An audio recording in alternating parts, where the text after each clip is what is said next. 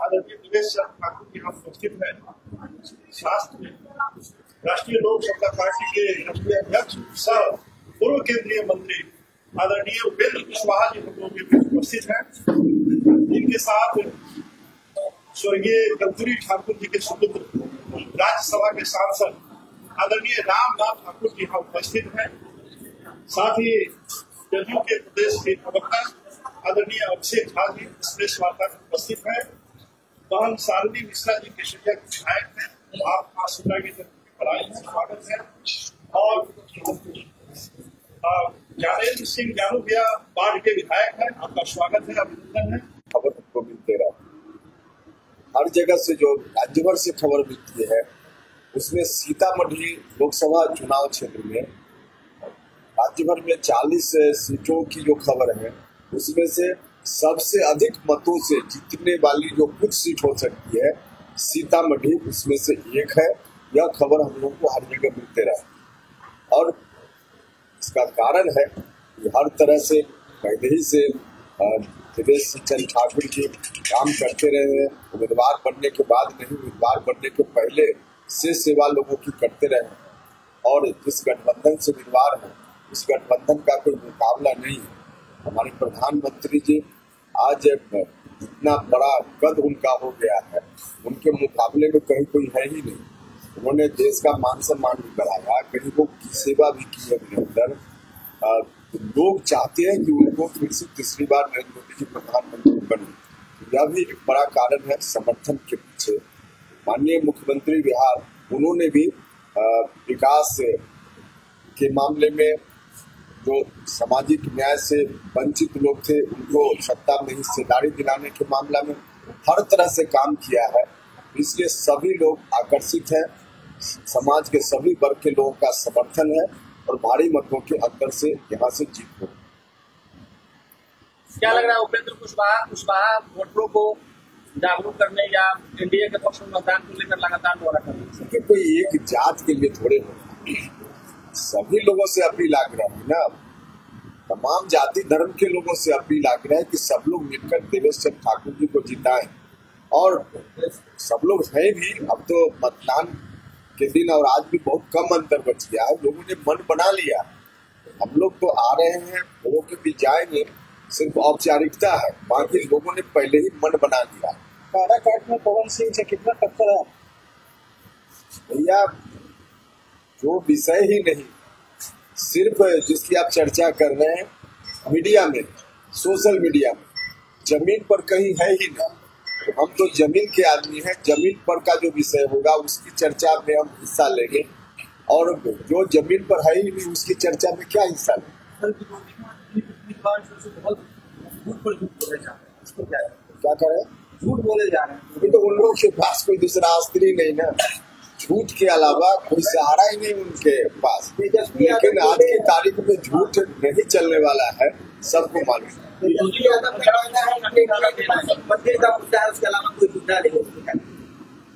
तेजस्वी यादव जी बोल रहे हैं देश के अस्सी करोड़ लोगों को फ्री में खाने का इंतज़ाम हमारे प्रधानमंत्री जी करा रहे और कहा है प्रधानमंत्री जी ने कि अगले पाँच साल तक फिर इसको जारी रखा जाए।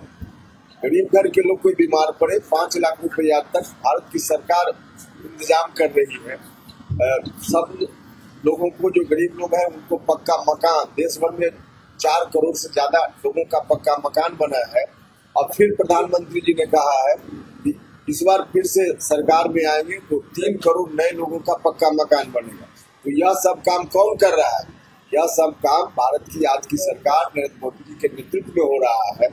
तो तेजस्वी यादव जी क्या बोल रहे हैं उसका कोई मतलब नहीं। सर सर देश में पहले 20 करोड़ करोड़ लोगों को अनाज मिलता था अब 80 करोड़ लोगों को मिल रहा है। क्या लग रहा है देश में गरीबी बढ़ गई है क्या? गरीबी बढ़ना एक बात है लेकिन बहुत सारी योजना तो ऐसी है जो अब किसानों को मिल रहा है। दो हज़ार रुपया एक किसान। तो गरीब देखकर नहीं समाज के सभी वर्ग के लोगों की चिंता प्रधानमंत्री जी कर रहे तो इसलिए सबको दे रहे इंडिया गठबंधन के लोगों ने सात कुशवाहा प्रत्याशी उतारे अब वो इस बात का दम भर रहे हैं कि कुशवाहा हमारे साथ में जबकि इससे पहले कुशवाहा ने कहा आप हैं और अपने आप को मानते हैं तो क्या इस बार कुशवाहा पर इंडिया गठबंधन का इफ़ेक्ट चला जाएगा या फिर जो कुशवाहा एक कुशवाहा नेता के रूप में मानते हैं। हमने कभी दावा नहीं किया कि कुशवाहा नेता है। हम समाज के सभी वर्ग के लोगों की सेवा करते हैं लेकिन कुशवाहा की अपेक्षा है।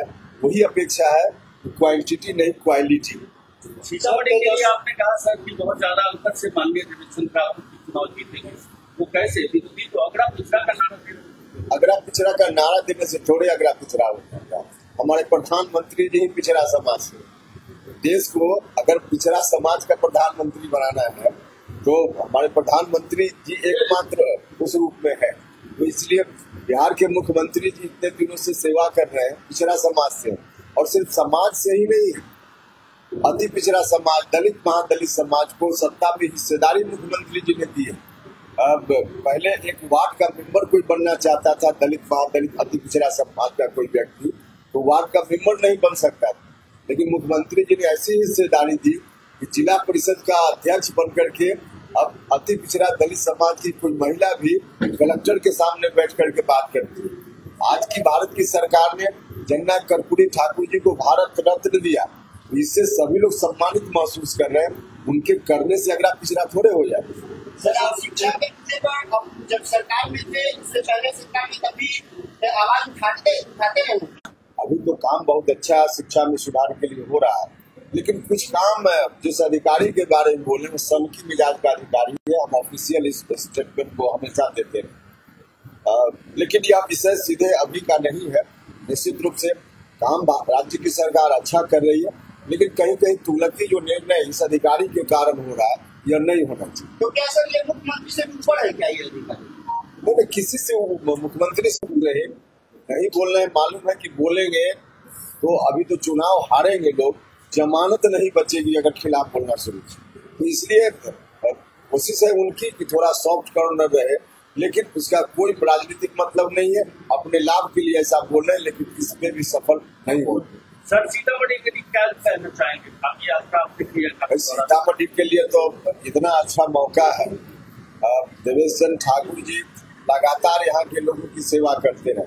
और इस बार एनडीए की सरकार दिल्ली में बनेगी गारंटी गति से सीतामढ़ी का विकास होगा। इतना अच्छा मौका सीतामढ़ी के लोगों के लिए। सर इस बार अगर एनडीए की तरह बनेगी तो क्या राम मंदिर के तरह सीता मंदिर भी बनेगा क्या? ये सीता मंदिर के बारे में तो कई बार मुझसे पूछे लोगों ने कहा। मुझसे पूछिए। हो गया ना? जाना है कई जगह गाँव। ना। सर हम है ना सबको स्वीकार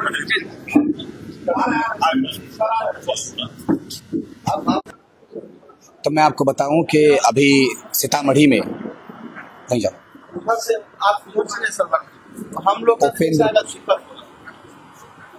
उपेंद्र कुशवाहा उपेंद्र कुशवाहा प्रेस कॉन्फ्रेंस कर रहे थे और उपेंद्र कुशवाहा अभी दिव्य चंद ठाकुर के आवास पर थे उन्होंने पीसी किया है उन्होंने कई सारे पत्रकारों के सवालों के जवाब दिए हैं और उन्होंने कहा है कि अगर देवेश चंद ठाकुर, इशारों इशारों में उन्होंने कहा कि अगर देवेश चंद ठाकुर जैसे सीनियर लोगों को अगर आप वोट करते हैं तो इन्हें बड़ा पद मिल सकता है। इट मीन्स कि मैं समझता हूँ, जैसा कि मैं समझ रहा हूँ कि उन्होंने केंद्र में मंत्री परिषद की शायद बात करी है, जबकि एक सवाल किया गया कि बिहार में जो शिक्षा सचिव हैं, उनके द्वारा सही तरीके से शिक्षकों के साथ पेश नहीं आया जा रहा है तो उसके जवाब में उपेंद्र कुशवाहा ने कहा कि मैं इस बात को ऑन द रिकॉर्ड कहूँगा माइक पे कहूँगा कि जो पदाधिकारी है, वो सनकी मिजाज का पदाधिकारी है। तो ऐसे कई सारी बातें यहाँ से उपेंद्र कुशवाहा ने कहा है। मैंने जब उनसे पूछा कि बिहार में